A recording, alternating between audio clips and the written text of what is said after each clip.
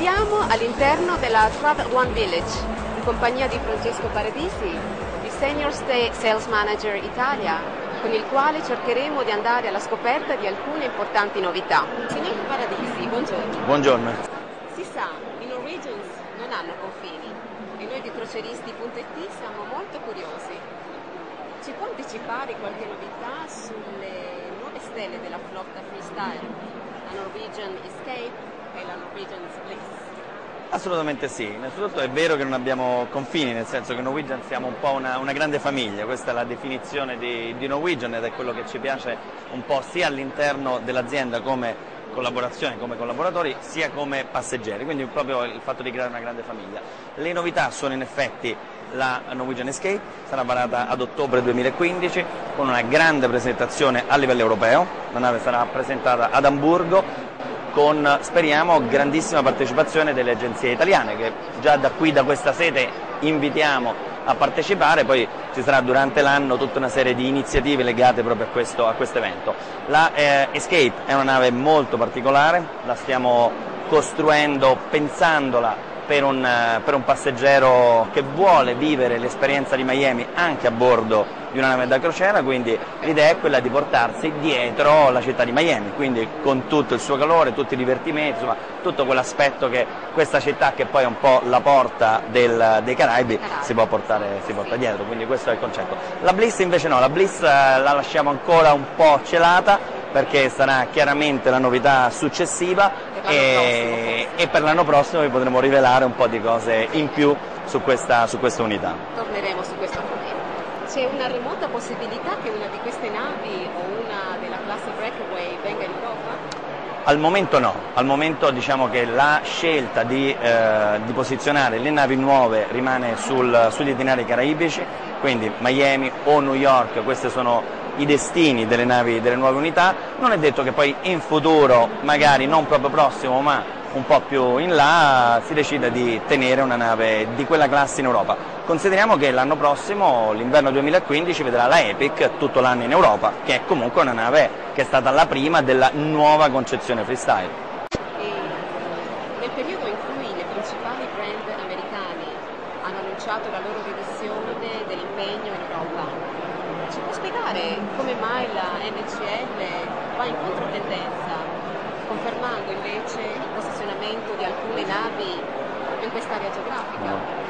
E forse un'attenta analisi del mercato, soprattutto italiano, vi spinge in questa direzione? Allora, innanzitutto l'Europa per Norwegian è molto molto importante. Abbiamo due uffici in Europa, uno a Londra e uno a Francoforte, che sono le nostre due centrali proprio operative europee, quindi di fatto il legame tra Miami e l'Europa è molto molto forte, dico Miami in quanto sede della compagnia. Eh, dall'altra parte il mercato europeo per noi è estremamente importante, molto molto importante il mercato tedesco, il mercato eh, spagnolo, il mercato italiano che oggi è il terzo mercato europeo per la, per la nostra compagnia e, e, questa è la scelta di una compagnia americana di voler rimanere in Europa tutto l'anno. Dall'altra parte ci fa piacere di essere l'unica compagnia americana a rimanere in Europa tutto l'anno. È chiaro che la scelta di mercato ci ha fatto capire che il nostro prodotto così particolare con tutte queste libertà a bordo piace al passeggero europeo e quindi perché non fare le crociere anche d'inverno con le nostre navi.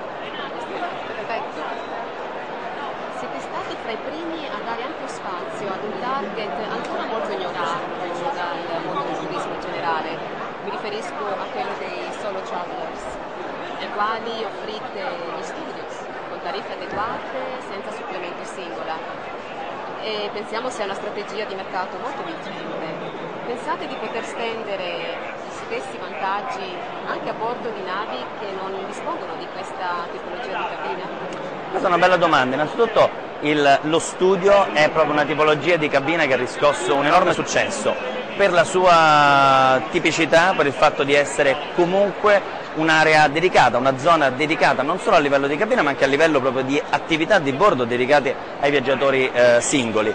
L'estensione ad altre unità già c'è di fatto, abbiamo iniziato a cambiare alcune navi della nostra flotta introducendo gli studi, faccio riferimento per esempio alla Pride of America che è una nave alle Hawaii che non aveva gli studi e oggi li ha, ma stiamo anche facendo tante offerte su alcune destinazioni, sulle cabine tradizionali senza il supplemento singola, quindi un'attenzione a quel segmento c'è perché oggi è un segmento importante di, di viaggio.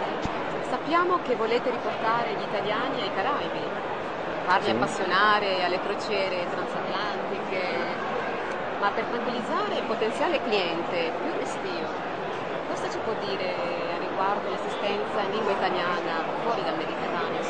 Allora, per quanto riguarda le nostre crociere lungo raggio con basamento New York, Miami, quindi Caraibi, area caraibica, abbiamo due navi al momento con totale assistenza in italiano, quindi i nostri passeggeri sono assolutamente benvenuti sulla Epic sulla Gateway, che è al momento la nostra ultima nave parata, nave più grande in partenza da Miami, mm, assistenza italiana vuol dire avere menu dei programmi in italiano, vuol dire avere personale che ti sorride, magari non in italiano, ma che parla italiano e di conseguenza eh, le nostre navi sono aperte tranquillamente per il passeggero italiano anche sul lungo raggio. E poi il nostro modo di fare crociera credo che metta a proprio agio anche il passeggero più restio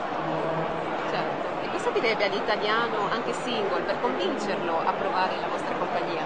Ma innanzitutto di iniziare a pensare alla vacanza in crociera come una vacanza, quindi scelgo la crociera per andare in vacanza. Vacanza vuol dire relax e credo che oggi le navi Norwegian Cruise Line siano diciamo, tra le uniche del mercato crocieristico a poter veramente garantire relax di bordo al 100%.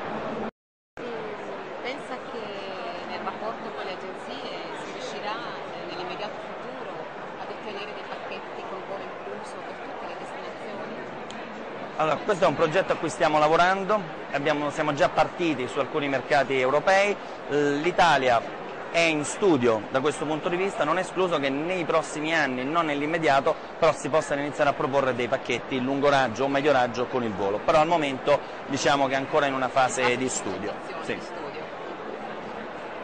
Un'ultima domanda e ci lasci sognare, la prego. Oh, speriamo. Ci sveli qualche novità sulla programmazione 2015? 2016 e perché no anche 2017?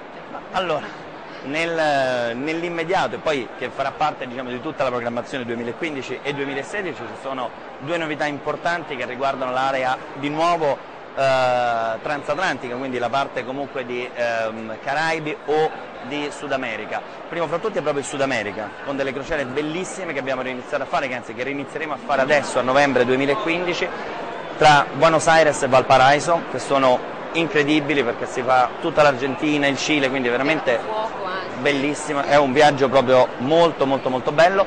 Eh, una nave Caraibi che originerà da San Juan, quindi una nuova meta e una destinazione nuova a livello caraibico. E poi l'introduzione nei nostri itinerari della nostra nuova isola privata, quindi Harvest Cay di fronte al Belize, queste sono un po' le novità di prodotto eh, allo studio nuovi itinerari, nuove, nuove destinazioni, ma chissà magari ci saranno poi delle grandi sorprese proprio a partire dal 2016 con degli itinerari Speriamo, nuovi. Tanto. Magari anche qualche puntatina in Asia. Perché no? Perché no? Diciamo che è possibile. Ringraziamo la Norwegian Cruise Line e Francesco Paradisi Grazie per l'invito e per il prezioso tempo che ci ha dedicato e per averci dato l'opportunità di conoscere meglio il prodotto firmato NCF. Dai padiglioni di Fiera Milano per il momento è davvero tutto, arrivederci al prossimo appuntamento, ciao!